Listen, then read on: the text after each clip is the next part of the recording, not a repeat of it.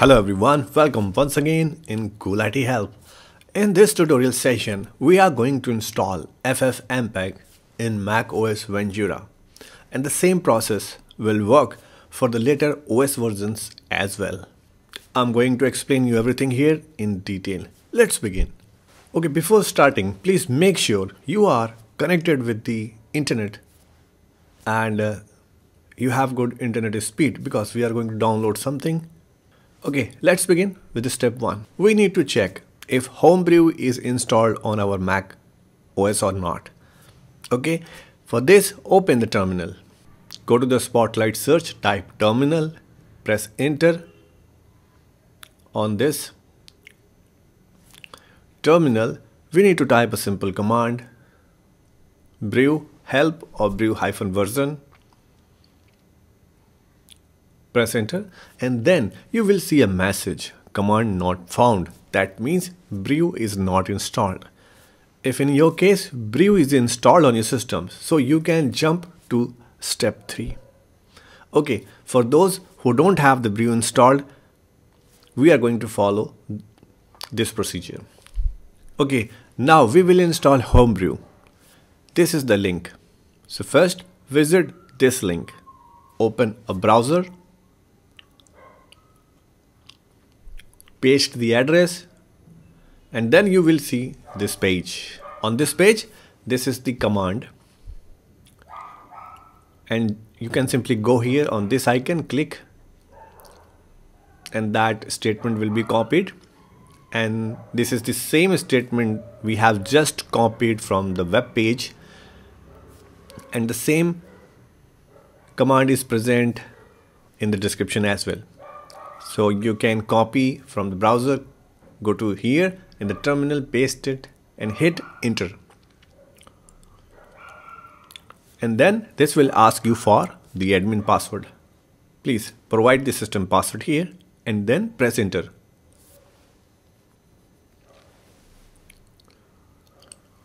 Okay, you can see these things going to be installed. And uh, this will take few more seconds. After that you have to give the password again because uh, it has already installed the uh, command line tools for the Xcode. Now going to proceed to install the further things. Give the password. And see this downloading and installing the homebrew. You can see here the progress if you have a very good internet speed then this process will not take much time. Only 3 to 5 minutes are sufficient for the complete downloading.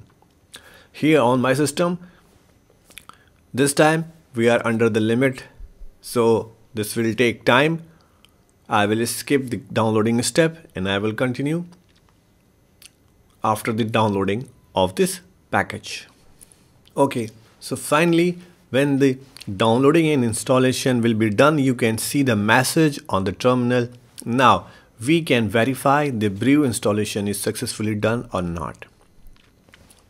At this place, we have already done the step 1. Now we are in the step 2.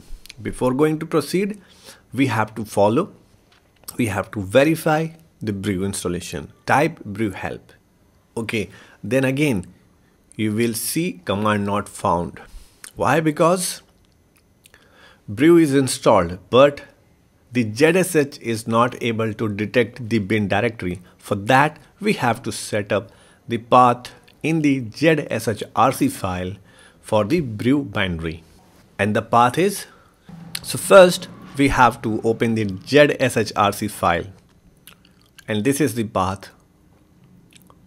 I will show you how you will do it. This process is simple. For those who are doing this thing first time, definitely they don't have the ZSHRC file on their system. Don't worry, I'm going to use a common process that will first create the ZSHRC file and then we will add the path. Right now, type the pwd command that will show you on which directory you are present. Okay, so I have just executed one command to check ZSHRC file is there or not. On my system, I have already created that one is present. No problem. Just type the next command nano.zshrc press enter. Then this micro editor will appear and you will see file opened in the edit mode. Right now you can see I have already exported the path java home and the path variable because in the previous videos tutorial when I have created something so I have added these path. Now in our case we have to simply append the path the brew bin path okay in this variable. So the path is opt homebrew slash bin. No problem. Whatever written in the notepad you can simply put in this ZSHRC file. Okay. Because I have already set up the Java home, that's why I'm going to append the path next to this variable. This will also work. Uh, we are appending the path. So the complete path will be a complete string.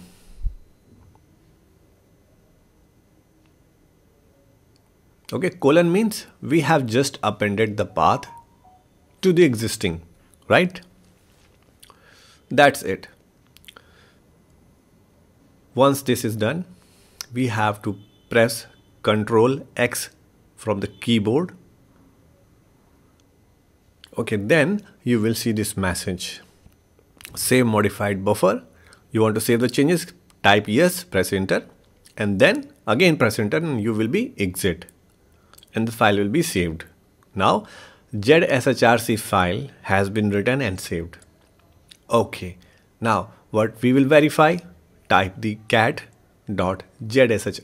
press enter and then you can see what you have added is display here. Okay, now we will go with the the command brew help to verify. Again, we got the message command not found. Why? Because we have already set up, but in this window of ZSH, that changes are not loaded. That's why we have executed the source.zshrc. Then changes loaded and again we have executed the file brew help and we got the results. Okay, now brew is successfully detected by the ZSH. So here the step 2 we have executed successfully. Our brew installation is successful and this is properly working. Now we can proceed. Okay, now we are at the step 3. In the step 3, we have to simple. Type the command brew install ffmpeg for the brew the ffmpeg that means we are going to install. I got this warning why? Because I have already executed the brew install ffmpeg once and the installation was successful. But for your demonstration, I'm going to reinstall it. Brew reinstall ffmpeg. And this will overwrite all the necessary files.